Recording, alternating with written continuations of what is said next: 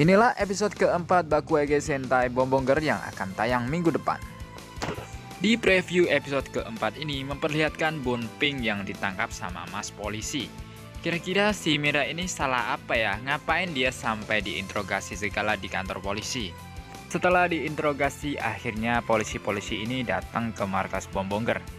Kayaknya Mbak Polwan ini pengen banget pesen bonbon changer sama Taya. Ya mungkin aja mbaknya ini pengen gabung sama Bombongger ya. Dan lalu dari pihak Assyrian menciptakan sebuah monster yang berasal dari pemandian air panas untuk mengumpulkan energi gas. Dan kocaknya ketiga Bombongger ini gelut pakai anduk guys.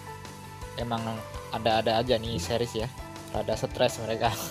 Anduk dipakai buat senjata. Dan menariknya fokus cerita di episode ini akan mengarah ke aku sejauh si polisi ini guys. Apakah ia akan berubah jadi Boon Black? Mungkin ya, mungkin juga tidak. Tapi si Oren udah dapat Boon Boon Changer guys.